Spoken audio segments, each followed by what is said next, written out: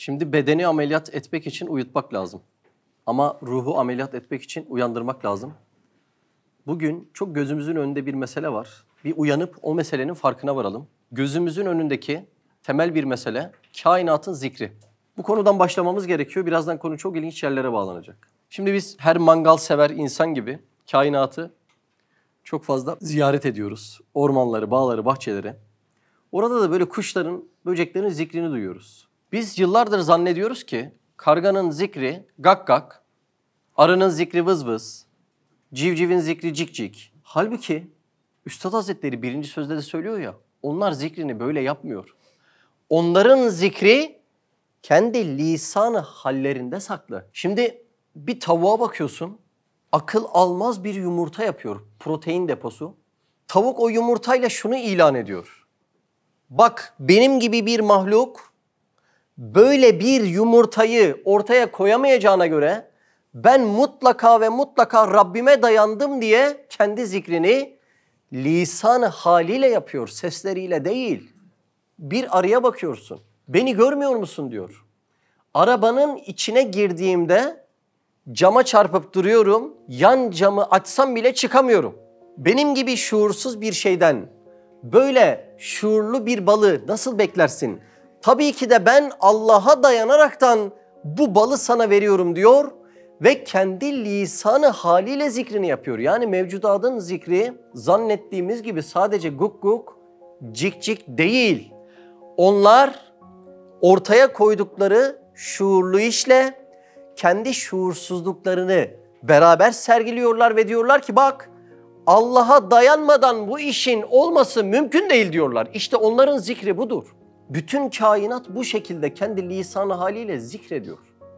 Şimdi bizim Allah'ın emirlerini yapmamız ibadet oluyor da o mahlukatın Allah'ın emrini yapmaları ibadet olmaz mı hiç? Bizim şu kainat ağacının neticesini sergilediğimiz namazımız ibadet oluyor da bir tavuğun Allah'ın emri ile sana daimi yumurta vermesi onun ibadeti olmaz mı hiç?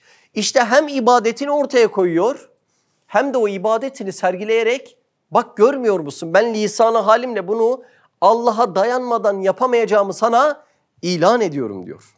Madem ilan ediyor böyle ayan beyan biz neden bunu göremiyoruz? Sebebi şu çok önemli cümleler. Bir insan alemi nasıl bilir? Kendi gibi bilir. Bir insan mevcudatı nereden okur? Kendi aynasından okur. Mesela bir insan yine ormanlara, çayırlara, dağlara, çimenlere çıktı. Kendisi de hüzünlü. Hüzünlü haliyle bir tane bülbül görüyor ve diyor ki ötme bülbül, ötme bülbül, derdime dert katma bülbül diyor. Halbuki bülbül dertli değil, kendisi dertli. Kendisi dertli olduğundan bülbülü de o aynadan müşahede ediyor ve asıl bülbülün ve diğer mevcudatın, diğer mahlukatın kendi özel zikriyle bak bu yaptıklarımı ben yapamıyorum ancak Allah yaratırsa yapıyorum zikrini bir türlü işlemiyoruz. Şimdi dersin birinci kısmı mevcudatın zikri anlıyorsunuz değil mi? Ben böyle anlatınca basit gibi geliyor ama bir dışarıya çıktığımızda biz bu zikri müşahede edemiyoruz. Demek ki bizim bütün alemi tam bu renkte görmemiz lazım. Üstad Hazretleri şöyle söylüyor. Tevhid melekesi maliki olmak. Yani meleke sürekli yapılan iş, malik onun sahibi olmak. Hani böyle arabayı çok iyi kullanırsın artık değil mi? Tek elinle bir elin şurada arabayı kullanırsın, bisikleti eline bırakıp kullanırsın. Aynı şekilde kainatta her şeyde tevhid mührünü okumanın iki yolu var. Mesela o tevhid mührüne kırmızı diyelim. Kainatta her şeyi kırmızı görmenin iki yolu var. Birinci yolu eline boya alıp bütün kainatı kırmızıya boyarsın. Kolay mı? Vallahi kolay değil, çok zor. Her şeyde bütün çalıştığın kitapları çıkaracaksın, tek tek orayı kırmızıya boyayacaksın. Vallahi çok zor. İkinci yolu ne? Bir kırmızı gözlük takarsın, bütün kainatı kırmızı görürsün. İşte bugün o kırmızı gözlük manasında, metaforunda bahsedeceğimiz tevhid gözlüğünü taktık mı bütün kainatın zikrini duyacağız. Çok önemli zikri. Şimdi Allah Azze ve Celle bütün kainatı, kuşları, böcekleri süslemiş. Süs varsa bir kasıt vardır öyle değil mi? Süsleyen sana hitaben bir mesajı iletmek istiyor. Şimdi siz bir kuşun kafesini süsleyip birisine hediye götürseniz siz ona seni seviyorum demek istersiniz. Sizin gibi kafesi süsleyen seni seviyorum demek istiyor da kuşu süsleyen ne demek istiyor? Demek ki burada bir kasıt var. Şimdi bütün kainatın aynı bu şekilde süslenmiş halindeki zikrini şöyle ufaktan bir birlikte okuyalım. Mesela ben belgeselde izliyorum. Bir kuş görüyorsun. Kuş böyle suya dalıyor, avlanıyor ve aynı hızda sudan geri çıkıyor. Bak çok ilginç bir mesele. Niye biliyor musun? Islak suya dalıyor, kanatları nasıl? Kupkuru kalıyor. Nanoteknolojiden bahsediyorum ha. Şimdi bir şeyin dalabilmesi için yüzgeci olması lazım. Uçabilmesi için kanadı olması lazım. Allah öyle bir şey yaratmış ki hem suyun içerisinde hareket ediyor hem havada hareket edebiliyor. Şimdi şuursuz bir kuştan böyle bir eylemi bekleyebiliyor musun? İşte kuş aslında o lisanı haliyle yani orada sergilediği tavırla kendi zikrini söylüyor ve diyor ki bak az önce izleyip hayran kaldığın bu hareketler bana ait değildir. Ben Allah'a dayandım ve Allah bu eylemi yarattı diyerekten zikrediyor. Bak kuşun zikri demek ki sadece cik cik değil bu şekilde zikrediyor. Şimdi mesela kuşlara baktığınızda rengarenk öyle değil mi ya böyle sanki böyle birisi almış eline boyamış boyamış her birisini tek tek geri bırakmış. Zaten boyanmış yani bir mülevvin zaten boyamış o kuşları. Peki o kuş kendi güzelliğinin farkında mı sizce? Mümkün değil. Peki onun arkadaşı onun güzelliğinin farkında mı? O da mümkün değil. Peki bu kuşu boyayan acaba ne için boyamış? Demek ki kuşun boyanması onun bir zikir çeşidi. Kuş diyor ki şu benim güzelliklerime, şu güzel renklerime bir bakar mısın? İşte şu hayran kaldığın üzerimdeki boyaların her birisi bir sani Zülcelal'a dayandığım için olup diyerekten lisanı haliyle zikrediyor. Bakın kainatın zikrini okuyoruz. Sadece cik cik guk guk değil kainatın zikri. Şimdi mesela bir tavus kuşu yumurtasını gördünüz mü? İçinde iki renk var tavus kuşu yumurtasının. Hangi renkler? Beyaz var, sarı var. Peki tavus kuşu büyüdükten sonra insan onun o yumurtadan çıktığına inanamıyor. 2000 renk sergiliyor. O tavus kuşu lisan haliyle ne diyor sizce? Bana baksana ben bunu kendimin yapmadığını Allah'a dayanarak yaptığımı ne ediyorum? Zikrediyorum diyor. Bak mevcudatın zikrini birlikte bakalım. Muazzam şeyler. Kuşun yumurtasının sarı kısmına embriyo denir. Peki beyaz kısmı nedir? Beyaz kısmı da yumurtadan çıkmasına yetecek kadar rızkı, yiyeceği, gıdası, protein kısmı. Sizce burada ne diyor? Bak ben bu gıdaları bu raflara kendim dizmiş olamam. Sana burada bu gıdaları bana veren bir rezakı zikrediyorum diyor. Bak zikri görüyor musunuz? Zikir manasını iyi anlamamız lazım. Mevcudatın zikrini iyi okumamız lazım. Şimdi mesela yine belgesellerde izliyorsun. Bir kartal tek kanadı 3 metre. Tek kanadı. Ava bir dalıyor bilmem kaç kilometre hızla akıllara zarar. Şimdi onun kemiklerine baktığınızda neyle dolu biliyor musunuz kemikleri? Hava kesecikleriyle dolu.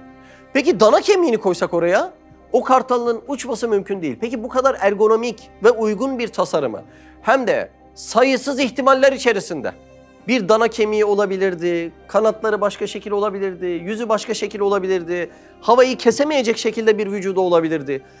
Bu kadar ergonomik bir tasarımı diyor ki bak ben şuursuzum ben bunu yapamam ve sana Allah'a dayanarak bunların yaratıldığını zikrediyorum diyor bir kartal. Bir yarasaya bakıyorsun öyle bir harita çıkarıyor ki değil mi? termal bir harita gibi ve gece vakti insanların göz gözü görmediği bir zamanda avlamadığı bir şey kalmıyor.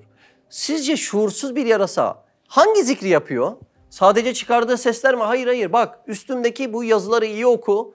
Bu yazılar Rabbimin sen oku diye bana bir armağanıdır diyor. Bak mevcudatta çok muazzam bir faaliyet var farkında mısınız? Bir insanın bunları görünce normalde hayretinden çatlaması lazım. Ama biz hayretimizi o kadar boş beleş şeylere sarf ediyoruz ki asıl sarf edilmesi gereken noktada hayretimizi sarf edemiyoruz. Lütfen dikkat edin yani.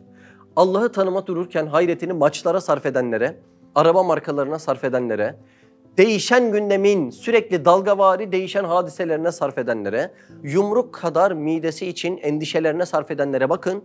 Demek ki hayret edilecek noktaları oraya sarf edince Allah da asıl hayret etmemiz gereken bu kadar masraf ettiği bu mevcutada, bu sanatlı eserlere bize hayreti yaratmıyor. Çünkü hak etmediğimiz için bunları yaratmıyor. Şimdi ardıç diye bir kuş var. Duymuş muydunuz? Bu ardıç kuşuna ismini veren ağaçtır aslında. Ardıç ağacının tohumu gübrelenip yere dikilmek için o ardıç kuşunu bekler. Ve ardıç kuşunun midesine bakalım, inceleyelim. Neredeyse taşı eritir.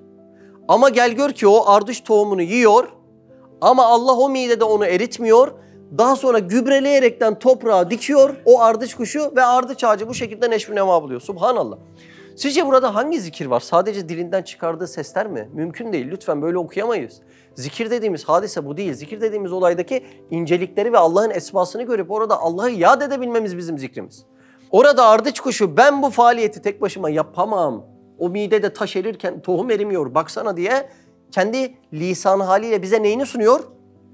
Zikrini sunuyor. Şimdi şurayı anladık umarım değil mi? Kuşun zikri cik cik değilmiş. Biz mevcudata baktığımız gibi etrafımıza da bazen bu yanlış nazarla bakabiliyoruz. Şimdi bazen Allah razı olsun sesi güzel bir hafızı dinliyor birisi.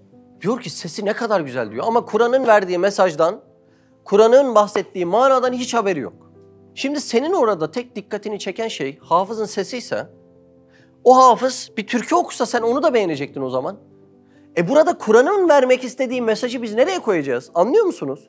Yani hakiki manada bahsedilmesi gereken zikri alamıyoruz bir türlü. Bazen kanarya besleyenler oluyor. Neyini seviyorsun kanaryanın?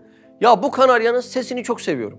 Sence o kanaryanın sana vermeye çalıştığı tek mesaj, tek zikri, sesi olabilir mi?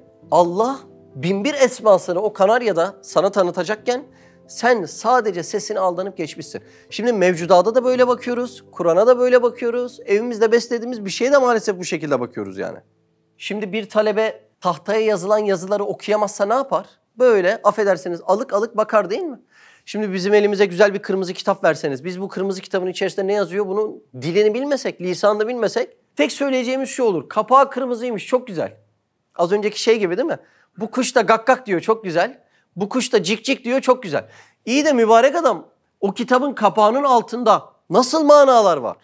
Tahtada yazılanları okumayı bilmeyen talebenin, affedersiniz, alık alık baktığı gibi biz de Allah'ın esmasıyla yazdığı, şu kainat tahtasını yazdığı, yani o kuşlar böceklerle cisimleşmiş ayetleriyle bize yazdığı, sunduğu çok derin ince ve yaratılışımızın merkezindeki mesajları. Bakın merkezindeki mesajları diyorum. Bunlar tevhid delilleri yani bu tevhid meselesi. Bu mesajları bir türlü okuyamıyoruz ya. Bu dersleri almadığımızdan bir türlü okuyamıyoruz yani. Asıl bize bakan meseleyi okuyamadığımızdan bir cikciki, bir gukguku sadece tek yaptıkları zikirler zannediyoruz. Önümüze bir tavuk geliyor. Tavuğu dişlerimizde kemiriyoruz. Mide kabristanına gönderiyoruz ve tavuğun işi bitiyor. Sizce tavuğun vazifesi bu kadar mı? O tavuğun bizdeki tek eylemi yemek olsaydı bizim insan olarak yaratılmamıza gerek olmazdı. Bir aslan bir kaplan da o tavuğu o şekilde yiyebilir. O zaman bize bu kadar cihazat israf mı olmuş olacak? Allah Allah çok ilginç değil mi? Şimdi ikinci konuya geçiyorum. Şimdi bu mevcudatta bir olay var. Ne gibi biliyor musun? Saat gibi. Bir vazifeyi yapıyor ama ne yaptığının şuurunda değil. Bak şimdi az önce mevcudatın faaliyetlerini konuştuk mu? Konuştuk. Peki mevcudat ne yaptığının şuurunda mı? Şuurunda değil. Demek ki bu mevcudatın kendi şuursuzca yaptığı ama ortaya çıkan şuurlu fiillerini okuması gereken birileri lazım. İşte onları okuyacak olanlar da biz insanlar olabiliyoruz. Çünkü onlara okuma cihazatı sadece bize verilmiş. Şimdi ikinci kısımda tamam mı? Mevcudatın zikri dedim. Daha sonra dedim ki bak bu mevcudat şuursuz. Kendi zikrini okuyamaz. O zikri okuyabilecek birileri lazım dedim. Şimdi bak bir şeyler zikir halinde ilan ediliyorsa, birileri de bunları okuyabiliyorsa, onların yaratıcısına yani tamamının sultanına takdim ve ikram etmesi, hediye etmesi şarttır. Bak şimdi. Bütün bu mevcudatın zikrinin tamamını içinizde okuyabilecek bir insan var mı? Mümkün değil. Demek ki içimizden birisi bu mevcudatın tamamının yılanın, ceylanın, kuşun, böceğin tamamının yaptığı zikri okuyup o kainatın sultanına takdim etmesi, ikram etmesi icap eder. İçimizde mevcudatın zikrinin tamamını okuyabilecek olan kim var? Efendimiz Aleyhisselatu Vesselam var. Bak şimdi. Şimdi o mahlukatın yaptığı bütün zikirleri Efendimiz Aleyhisselatu Vesselam mahlukat namına Allah Azze ve Celle'ye ikram ettiği, sunduğu geceye biz Miraç gecesi diyoruz. Miraç o kadar önemli ki. Bir gecelik kutlanacak bir olay değil. Çünkü Miraç'ta Efendimiz Aleyhisselam zamansız bir yere gidiyor. Yani zaman üstü bir hadise var Miraç'ta. Bütün mevcudatı alakadar eden bir hadise var. Çünkü bütün mevcudatın kendi lisanı haliyle yaptığı zikri kainatın sultanına bir zat takdim etmeye gidiyor ve bu buluşmaya biz ne diyoruz? Miraç diyoruz. O Miraç'ta bütün mevcudatı, yaratılanları, yaratılacakları, yaratılmışları, cenneti, cehennemi, bütün alemleri Allah Azze ve Celle elçisine tamamen gösteriyor ve temaşa ettiriyor. Ve diyor ki bak bunların her birisi de neyden yaratıldı? Senin nurundan. Efendimiz Aleyhisselam söylüyor. Evvela ma halakallahu nuri. Yani evvel benim nurum yaratıldı diyor. Bütün mevcudat neyden yaratılmış? Efendimiz Aleyhisselam'ın nurundan. Bakın şimdi konu birazdan bağlanacak ama iyi dikkatli dinleyelim. Devlet insanları nasıl eğitir? İnsanların içerisinden birisini alır, ilkokul, ortaokul, lise, üniversitede eğitir. Daha sonra o eğittiğine öğretmen deyip tekrar insanların içine koyar. Doğru mu? Ne için? Diğerlerini eğitsin diye. Yani içinden birini aldı, eğitti ve diğerlerini de eğitsin diye tekrar içlerine koydu. İşte Allah Azze ve Celle Miraç'ta Efendimiz'i aldı, bütün kainatı gösterdi. İsimlerinin tecellilerini gösterdi. Cenneti, cehennemi gösterdi. Diğer bütün nebileri, peygamberleri gösterdi. Aklınıza gelip gelebilecek her şeyi gösterdi. Ona bütün bilgileri verdi ve tekrar o bilgilerle bizi eğitsin diye aldığı elçisini tekrar içimize koydu. Bakın Miraç'taki derin manaya bakın. Şimdi burada çok önemli bir mesele var. İşte o Miraç'taki buluşmada Efendimiz Aleyhisselatu Vesselam'a düşen bir de vazife var. Nedir biliyor musunuz? Şimdi hepimiz çocukken bu törenlere katılmışızdır. Şimdi bazı askeri törenler de vardır. Katılan, izleyen vardır belki. Askerin tamamı bütün kabiliyetlerini sergiler yani zikreder. Doğru mu? Asker kabiliyetlerini sergiledikten, nizami yürüyüşlerini, tüfeklerini, kılıçlarını sergiledikten sonra ordunun komutanı askerlerin tamamının önüne gelir ve onlara öğrettiği bütün sergiledikleri kabiliyeti onları izleyen sultana hediye eder. Sultanım ben bu orduyunun tamamını eğittim. Onların zikirlerini yani kabiliyetlerini yani lisan hallerini sana takdim ettim ve bunların tamamını sana hediye ediyorum. İşte Miraç'ta az önce zikrini öğrendiğimiz bütün mevcudatın şuursuzca yaptıkları o şuurlu vazifeleri tamamıyla okuyabilen Efendimiz Muhammed Mustafa Aleyhisselam onların tamamının eğitimlerini, zikirlerini Miraç'taki buluşmayla Rabbine Ya Rab ben elçin olarak onların yaptığı bütün zikirleri sana hediye ediyorum diyerekten bizim namazda teşehhütte okuduğumuz Ettahiyyatü okumuştur. Mesele böyle nasıl? İşte biz bu manayı namazda uyguladığımızdan namaz her müminin bir miracıdır. Çünkü az önce bahsettiğimiz ve birazdan detayına ineceğimiz o tahiyyat dediğimiz yani teşehhüt dediğimiz hadise var ya hani o tahiyyatın okunduğu süreye teşehhüt miktarı diyoruz ya.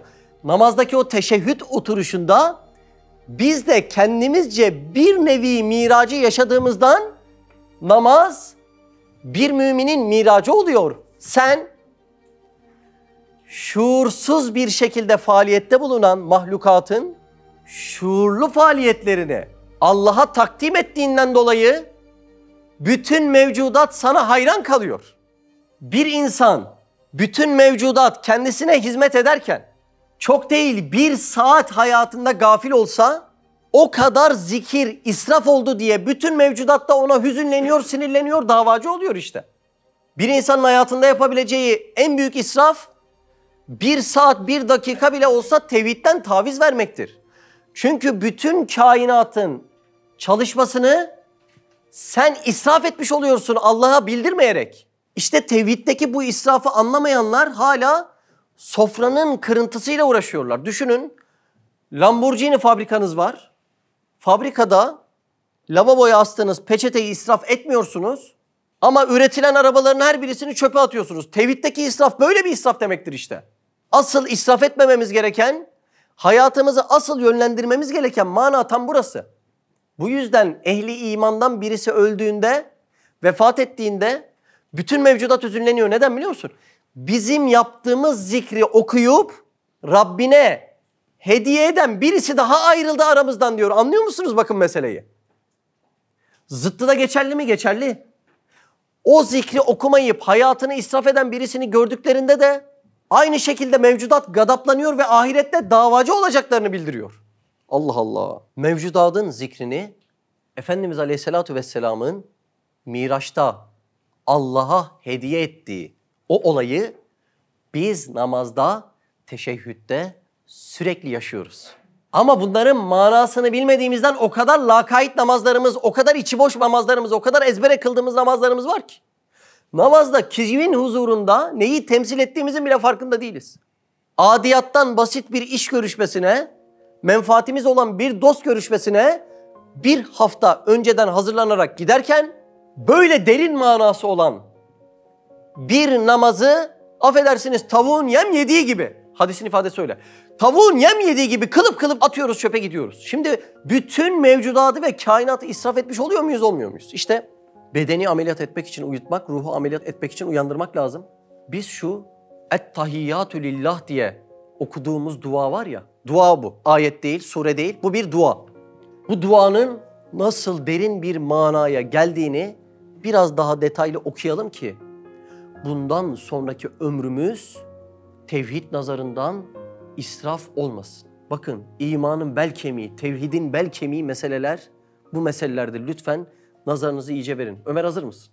Bismihi Subhanehu. Altıncı şua.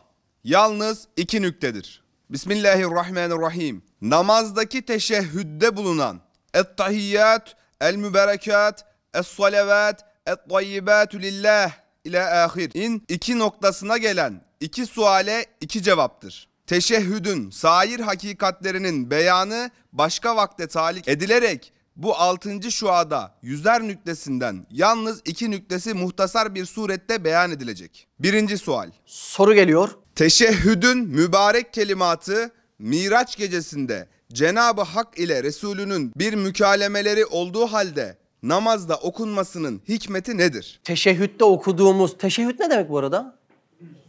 Şahit olmak demek. Bakın bakın. Neye şahit olacağız orada? Allah ve Resulünün Miraç gecesindeki konuşmalarına, karşılıklı konuşmalarına ve bu konuşmaya en sonunda katılan Cibril aleyhisselama birazdan şahitlik edeceğiz. Bakın namazda okuduğumuz bir dua bu. Ne kadar ince, ne kadar derin. Buyur. El cevap her müminin namazı onun bir nevi miracı hükmündedir. Çünkü namazda okuduğumuz bu dua Miraç'ta Allah Azze ve Celle ile Efendimiz Aleyhisselam'ın konuşması ve Cibril Emin de bu konuşmaya katılması. Yani Miraç gerçekleşmiş bu duanın altında. Evet. Ve o huzura layık olan kelimeler ise Miracı Ekberi Muhammed Aleyhisselatu Vesselam'da söylenen sözlerdir. Onları zikretmekle o kutsi sohbet tahattur edilir. O tahatturla o mübarek kelimelerin manaları cüz'iyetten külliyete çıkar ve o kutsi ve ihatalı manalar tasavvur edilir. Anlıyorsunuz değil mi? Yani çok çok affedersiniz dar bir cümle kalıbı değil orada okuduğumuz dua. Kainatın sultanının konuşması yatıyor. Bir insan bu manayı anlarsa namazına da o derinliği katabilir. Bu manayı anlamadan bilmeden öyle geçiştirilen, ağzı burnu kırılan, dağıtılan, canına okunan bir namaz çıkıyor ortaya. Evet. Veya edilebilir. Ve o tasavvur ile kıymeti ve nuru teali edip genişlenir. Mesela Resul-i Ekrem aleyhissalatu vesselam o gecede Cenab-ı Hakk'a karşı selam yerinde et-tahiyyatü lillah demiş. Şimdi birinci parçaya zihayat diyoruz. Tam burası yani. Miraç'ta Efendimiz Aleyhisselatü Vesselam Allah Azze ve Celle ile konuşma yaparken et tahiyyatü lillah diyerek acaba ne dedi? Şimdi o kelimenin tekili tahiyye. Tahiyye ne demek? Selamlama demek, selam verme demek. Şimdi birazdan göreceğiz bütün zihayatların. Yani canlı ne varsa yılanından kuşuna, bakterisine, böceğine, insanına, ağacına. Canlı ne varsa her birisinin selamını Allah'a birazdan takdim edecek Allah Resulü Aleyhisselatü Vesselam. İşte biz bu selamlamanın tekiline tahiyye diyeceğiz. Tahiyye bir diğer manası hayat kelimesinden gelmiştir. O yüzden tahiyye hayat hediyesi, varlık sebebi demektir. Madem öyle o zaman et tahiyyatü lillah da şu demek oluyor. Ya Rab mevcudatta zihayat yani canlı ne varsa onların her birisinin hayat hediyesini lisanı halleriyle yaptıkları zikrin tamamını ben sana ikram ediyorum, hediye ediyorum ve seni bu şekilde selamlıyorum demektir. Bak bak inceliğe bak. Allah Allah. Bir çamaşır makinesi zikrini nasıl yapar? Çamaşırı yıkayarak yapar. Kainattaki mahluk da esmaya aynedarlık ederek kendince zikrini yapıyor. Güneş Nur ismine aynedarlık ediyor ve bu şekilde zikrini yapıyor değil mi? Çiçekler Cemil ismine aynedarlık ediyor ve bu şekilde kendi zikrini yapıyor. Rızıklar, yiyecekler, sucuklar, tantuniler. Bunların her birisi Rezak ismine aynedarlık ediyor ve bu şekilde kendi zikrini yapıyorlar. Yağmur Rahim ismine aynedarlık ediyor ve bu şekilde zikrini ilan ediyor değil mi? Ama onların her birisi bu yaptığından şuursuz. Ama yaptıkları eylemler şuurlu. İşte o şuursuzların şuurlu zikirlerini Allah Azze ve Celle'ye takdim edecek, onları ikram edebilecek birisi lazım. O da Efendimiz Muhammed Mustafa Aleyhisselam oluyor. Neden? Üstad Hazretleri diyor ki sinek seyretmez asumanı. Yani bizim hiçbirimiz o mevcudatın tamamının zikrini duyamayız. İşte o zikri duyabilecek olan kainat namına Allah Azze ve Celle'yi ikram edip, hediye edip onlarla selamlayacak olan kişi de Efendimiz Muhammed Mustafa Aleyhisselatü Vesselam oluyor. Allah Azze ve Celle'yi nasıl selamlamış? Kendi çapımda haşa düşündüm. Yani nasıl selamlanabilirdi acaba diye. Şimdi Allah'a bizim bildiğimiz ölçüde selam vermek haşa caiz değildir. Niye? Çünkü Allah'ın kendi ismi Es-Selam'dır. Şimdi Allah Azze ve Celle'ye Esselamu Aleyke diyemeyiz değil mi? Esselamu Aleyküm. Bunları diyemeyiz yani. Selamun Aleyküm. Bizim tam Anadolu ağzıyla. Bunları diyemeyiz. Niye? Allah'ın selamı üstüne olsun diye Allah Azze ve Celle'ye söylenemez. Şimdi bak düşünebiliyor musunuz? Efendimiz Aleyhisselatü Vesselam her gün sayısız insana selam verirken Miraç gibi bir hadisede kainatın yaratıcısıyla buluşuyor ve orada söylenmesi gereken en güzel cümleyi orada ifade ediyor. Ettahiyyatü lillah. Bu zihayat, canlıların her birisinin lisan haliyle yaptıkları bu zikrin tamamını sana takdim ediyorum. Onların tamamıyla seni selamlıyorum. Ya Rab diyor. Allah Allah. Nasıl ince bir anlayış, nasıl ince bir düşünce öyle değil mi? Allah Allah. Şimdi yazılanlara lütfen dikkat edin. Ben zannediyorum ki bu anlattıklarımızdan sonra yazılanlarda çok rahat anlaşılacak. Evet. Yani bütün zihayatların hayatlarıyla gösterdikleri tesbihat-ı hayatiye ve sanilerine takdim ettikleri fıtri hediyeler ey Rabbim sana mahsustur. Her birisini Efendimiz sunmuş. Evet. Ben dahi bütün onları tasavvurumla ve imanımla sana takdim ediyorum. Böyle bir ince beyan olur mu ya? Soruyoruz ne demek istedik acaba biz namazda? Ben dışarıda cevap alamıyorum. Bizim bunları bilmemiz gerekmez mi yani? Gerekmiyor mu? Namazda okunulan tahiyyat namazın farzlarından değil mi? E farzı olan bir şeyin zahiri farzını hadi yaptığımızı zannediyoruz ama bu işin bir de batini farzı var. İhlas namazın batini farzıdır. Bunlar olmadan ihlas nasıl olacaktır? Evet. Nasıl ki Resul-i Ekrem aleyhissalatu vesselam ettahiyyat kelimesiyle bütün zihayatın ibadat-ı fıtriyelerini niyet edip takdim ediyor. Önce ikinin anahtar kelimesini söyleyeyim mi? Tohum, çekirdek, yumurta. Öyle de tahiyyatın hülasası olan el müberekat kelimesiyle de El mübarekat Şafilerin namazda kullandığı fazladan ekstradan bir kelimedir. Üstad Hazretleri de Şafi olduğundan onu da burada tefsir ediyor. Burada iki görüş var yani. Birisi Abdullah İbni Mesud Efendimizin görüşünü almış. Birisi Abdullah İbni Abbas Efendimizin görüşünü almış. O yüzden bir kısım namazda bu kelimeyi okumuş, bir kısım da okumamış. Bu kelimenin bir de derin bir manası var. Şimdi Şafilerde de bir selamı ziyadesiyle selamlamak müstehaptır değil mi? Yani Şafi birisi selam aldı mı o selamın üstüne kata kata selamlar. Şimdi bunun kadar güzel selamın üstüne katılabilecek bir kelime mümkün değil diyeceksiniz. Buyurun acaba el mübarekat ne demekmiş? Bir bakalım. el müberekat kelimesiyle de bütün medarı bereket ve tebrik ve barekallah dediren ve mübarek denilen ve hayatın ve zihayatın hülasası olan mahluklar hususan tohumların ve çekirdeklerin, danelerin, yumurtaların fıtri mübarekiyatlerini ve bereketlerini ve ubudiyetlerini temsil ederek o geniş mana ile söylüyor. O tohumların, çekirdeklerin, yumurtaların vekili onların şuursuz tesbihlerini şuurlu bir şekilde Rabbine ikram ve takdim ediyor. Miraç'ta oluyor bu hadise ve biz namazda kullanıyoruz bu kelimeleri. Allah Allah, Allah Allah. Üçün anahtar kelimesini söyleyeyim mi?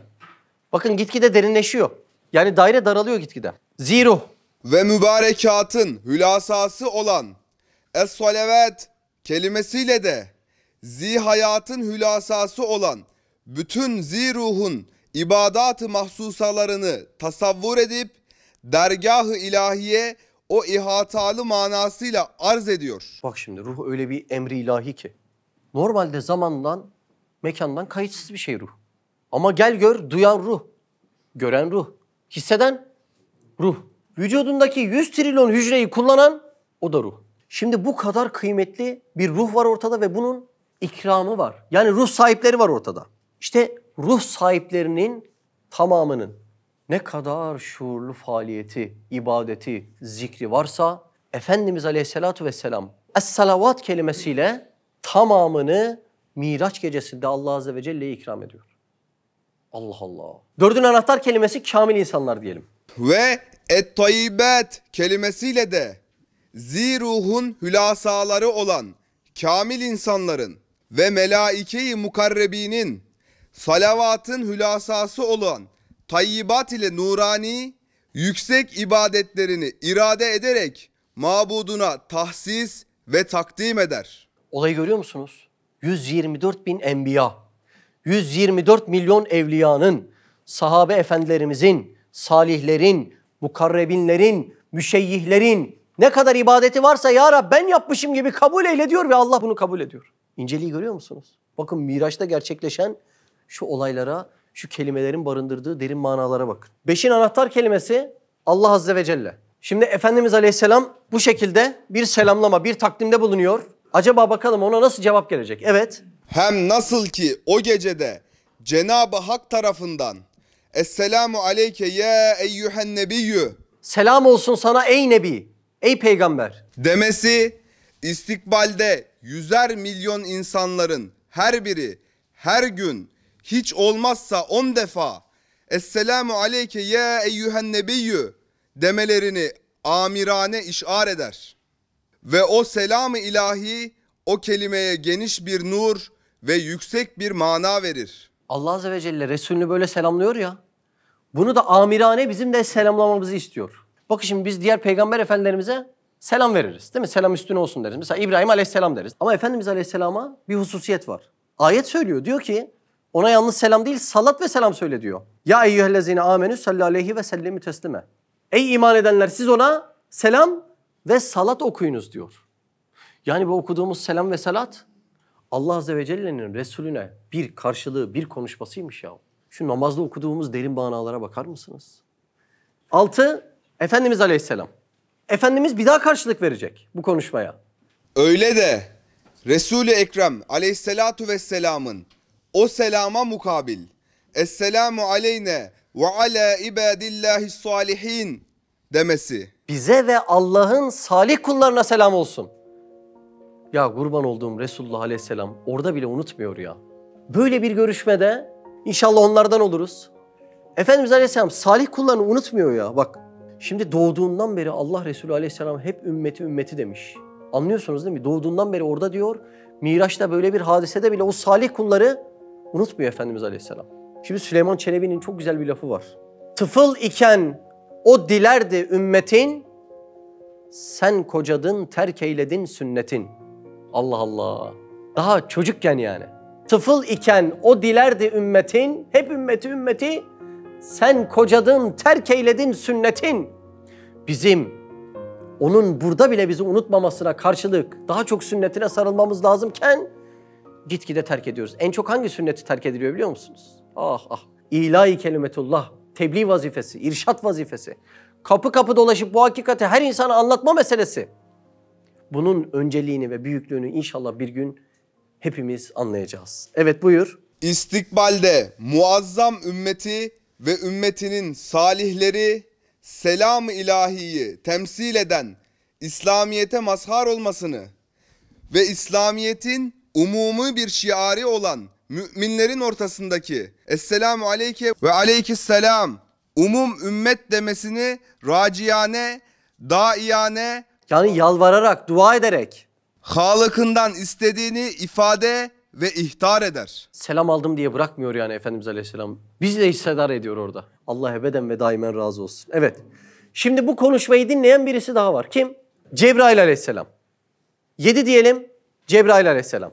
Acaba Cebrail Aleyhisselam bu sohbete nasıl katılıyor? Buyurun. Ve o sohbette hissedar olan Hazreti Cebrail aleyhisselam emri ilahi ile o gece Eşhedü en la ilahe illallah ve eşhedü enne Muhammeden Resulullah demesi bütün ümmet kıyamete kadar böyle şehadet edeceğini ve böyle diyeceklerini mübeşşirane haber verir. Aynen de öyle oldu değil mi?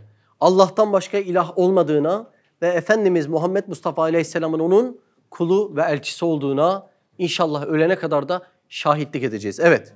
Ve bu mukamele-i kutsiyeyi tahattur ile kelimelerin manaları parlar, genişlenir. Demek ki namazdan önce insanın bir hazırlık yapması lazım. Ve o hazırlığının çok önemli bir parçası da namazda okuduğumuz bu dua olması lazım. Bu duadaki hazırlığımız ölçüsünde namazımız da o kadar parlayacaktır. Bu meskur hakikatin inkişafında bana yardım eden garip bir halet ruhiyedir. Bir zaman karanlıklı bir gurbette, karanlık bir gecede, zulmetli bir gaflet içinde hali hazırda olan bu koca kainat hayalime camit, ruhsuz, meyyit, boş, hali müthiş bir cenaze göründü. Arada bizde de olur değil mi? Sanki bütün dünya üstümüze geliyor düşmanlık edecek. Üstad Hazretleri de böyle bir halete orada mazhar olmuş. Evet. Geçmiş zaman dahi bütün bütün ölü, boş, meyyit, müthiş tahayyül edildi. O hadsiz mekan ve o hudutsuz zaman karanlıklı bir vahşetgah suretini aldı. Ben o haletten kurtulmak için namaza iltica ettim. Allah Allah. Diyor ki yer çekimi sürtünmesinden nasıl kurtulur insan? Miraç ile yani miraç manasındaki namazla Üstad Hazretleri oraya sığınmış. Evet. Teşehhüdde ettahiyyat dediğim zaman birden kainat canlandı. Hayatlar nurani bir şekil aldı. Dirildi. Çünkü her birisinin selamını ilettin sen. Evet. Hayyu kayyumun parlak bir aynesi oldu. Her birisinin üzerindeki esmayı okudun sen. Evet. Bütün hayatlar eczasıyla beraber hayatlarının tahiyyelerini ve hedayayı hayatiyelerini daimi bir surette Zat-ı Hayyu Kayyum'a takdim ettiklerini ilmel yakin belki hakkel yakin ile bildim ve gördüm. Üstad Hazretleri'nin belki demesi belli ki demesidir. Evet. Sonra Esselamu aleyke ya eyyühen nebiyyü dediğim vakit o hudutsuz ve hali zaman birden Resul-i Ekrem aleyhissalatu vesselamın riyaseti altında zihayat ruhlar ile vahşet zar suretinde Yani ürkütücü, böyle yalnızlık, korku veren o hal dağıldı. Evet. ünsiyetli bir seyrangah Yani çok güzel bir gezi ve seyir yerine dönüştü. Evet. suretine inkılap etti. Allah Allah. Şu namazdaki derin manaya bakar mısınız ya?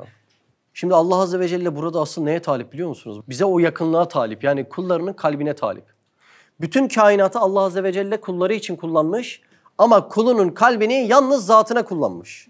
Şimdi bizim hayatta yaptığımız ne varsa şu manaya bir değer ve kıymet vermiyorsa, daha yalın konuşayım. Namazımızı kaliteli hale getirmiyorsa inanın boştur. Okuduğumuzda boştur, konuştuğumuzda boştur. Bazen öyle oluyor kaç tane kitap bitiriliyor ama bir türlü namazına o kıymeti, o kaliteyi vermiyor. Boş oluyor demek ki. Namazın altını doldurmak böyle imana medar bahisleri sık sık okuyup yaşama çabasıyla olacaktır. Yoksa bir geminin okyanusta çok yol yapması limana yanaştı demek değildir. Bu manaları vermeyen çok fazla kitap okumak, çok fazla insanlarla görüşmek senin limana yanaşmana yani namaza o kaliteyi, o keyfiyeti vermene garanti olamazlar bir türlü. Şu derslerin inceliğine, şu kelimelerin, şu cümlelerin inceliğine lütfen dikkat edin. Efendimiz Aleyhisselam'a bir salat ve selam getirmenin bile ne kadar ehemmiyetli, önemli olduğunu anladık. Şimdi bizlerin inşallah nur talebelerinin bir tesbihatı vardır yani namazlardan sonra böyle bir 3-4 dakika daha uzun bir tesbihat yaparız.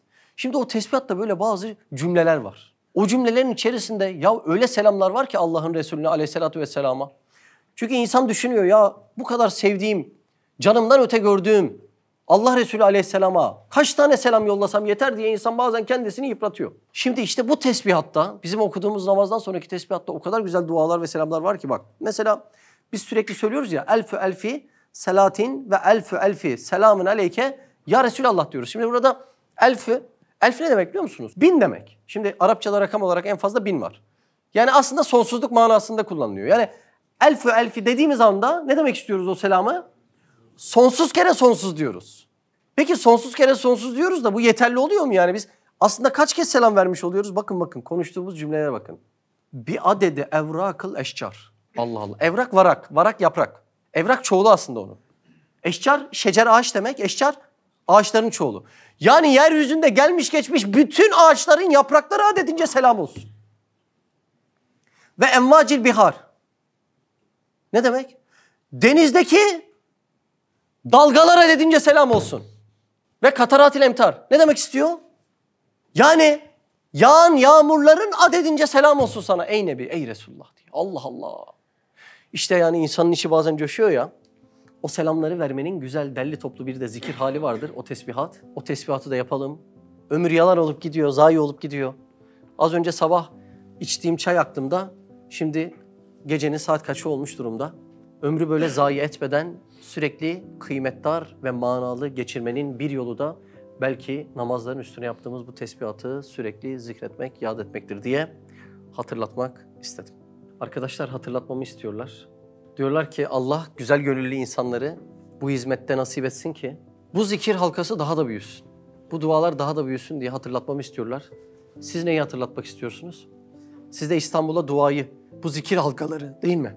Ama bahsettiğimiz manada içi derinlikli ve dolu bir zikir. Bu dersleri alarak ve aksiyona dönüştürerek. Yani bir şey niye okunur ki? Amel etmek için değil mi?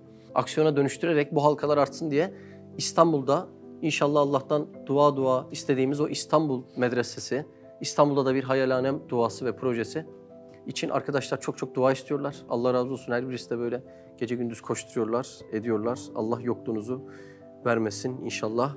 Allah ayağınıza taş, gözünüze yaş değdirmesin. Tıfıl iken o dilerdi ümmetin, sen kocadın, terk eyledin sünnetin. Allah. Subhaneke la ilme lena illa ma allamtena inneke entel alimul hakim ve ahiru davana elhamdülillahi rabbil alemin. El Fatiha mesela. Ne kadar derin manaymış değil mi? Yani namazda ne okuduğumuzu fark etmediğimizden namazda kimin huzurunda olduğumuzu da maalesef fark edemiyoruz yani. Çok gafilane hallerimiz oluyor. Allah muhafaza eylesin. Allah muhafaza eylesin inşallah. Çok yaman bir çelişki. Üstad namaz için diyor ki ubudiyetin firistesi diyor. Yani bir insan kaç gram kulluğu olduğunu namazdaki duruşundan, aklına gelenlerden, halet ruhiyesinden anlar biliyor musunuz? Çok ilginç bir zamanda yaşıyoruz. Çok keşmekeş bir zamanda yaşıyoruz. Allah hepimizi muhafaza eylesin. Yani şu manaları daha yaşama çabası var. Onun bile o kadar gerisindeyiz ki. Anlama çabası var. Onun bile o kadar maalesef bazen bazen görüyoruz yani o kadar gerisindeyiz ki. O kadar israf edilen vakitler var ki bunun mücadelesi, arayışı bile kim arkadaşların umurunda değil. Allah onların gönlüne de böyle güzel, hayırlı bir ateş düşürsün. Her birisi bu derin manaları yakalasın. Bir insan bu zikri 24 saat okusa 24 saat Allah'ı bilir demek. Ve 24 saat Allah'ı bilse murakabesi dediğimiz görülüyor olduğunu anlar. İşte bunun adına huzur diyoruz. Huzur budur ha. Öyle olur değil mi? Hani bir sultanın huzuruna çıkacaksın derler. Huzuruna kabul edildin derler. Yani huzur ne demek? Ya Rab sen beni sürekli görüyorsun diye bir insan farkına varsa 24 saat huzur içerisinde geçecek. Huzurun asıl manası bu. İşte bu dersler, bu zikirler, namazların derinliğindeki bu manaları yaşamak, bunları doldurmak, bunları sürekli takviye etmek çok elzem şeyler yani. Bizim dünyada eğlenmek için, gülmek için yaptığımız çabaların her birisi havacı var. Çünkü bedenin beslenmesiyle ruhun maalesef mutlu olamıyor. Yani sen ata saman yedirmekle, bu bedene saman yedirmekle onun üstüne binen süvariyi yani ruhu bir türlü doyuramazsın. İşte ruhun gıdasından buralarda. Allah hepimize yaşatsın inşallah. Tıfıl iken o dilerdi ümmetin, sen kocadın, terk eyledin sünnetin. Allah Allah. Süleyman Çelebi öyle demiş. Tam şöyle demiş aslında. Tıfıl iken ol dilerdi ümmetin, sen kocaldın, terk eyledin sünnetin diye. Tam böyle buna hazırlıkla bir namaz kılsak. Yani bu gece teheccüd mü kılalım diyorsun. Velev birisi öyle bir ana denk geldi, sabah namazına kadar uyumadı. Gene de uyumadan da teheccüd kılmak caizdir. Uyumadan da olsa kılın. Ya da mesela çalışırken şöyle kafa gitti, uyandın. Tamam işte. Teheccüdün kalitelisini orada kılabilirsin. Ama velev birisi sabaha kadar abi işim vardı yani hiç uyuyamadım dedi. Gene de kılsın. Tamam mı? İmsak girmeden o teheccüdü mutlaka kılsın. Çok zorlanan varsa, uykuyla dövüşen varsa imsaktan bir yarım saat önceye alarm kursun. Orada kılsın. Yani bunlar alışkanlık kazanmak için taktikler. Bunu böyle 10, 20, 50 kez yaptığımızda oturur Allah'ın izniyle. Teheccüdümüzü kılalım. 8'e kadar yolu var teheccüdün. İsteyen 2, isteyen 4, isteyen 6, isteyen 8 rekat teheccüdü kılabilir. Teheccüdü olmayanın tecehhüdü olmaz, cehdi olmaz. Teheccüde birbirimize dua edelim. Pintilik etmeyelim, ismen de dua edelim. İstanbul'a da dua edelim ama ismimize de dua edelim. Yani bunları esirgemeyin. Şurada bir avuç adamız yani birbirimizin de zarfa direkt adresi yazıp yollamayacaksak yani ne yapacağız biz? Allah aşkına çok ihtiyacımız var duaya. Yani özellikle böyle biraz daha fazla iş yapan arkadaşları burada görüyorsunuz. Onlara daha fazla dua edin yani. Değil mi? Bugün bir şeyleri yapıyorsak onların vesilesi çok büyüktür yani. Allah hepsinden razı olsun. Siz de Hayalhanem İstanbul ve diğer tüm projelerimize destek olmak için buradaki linke tıklayarak online bağışta bulunabilir veya aşağıdaki iletişim numaralarından bizlere ulaşabilirsiniz.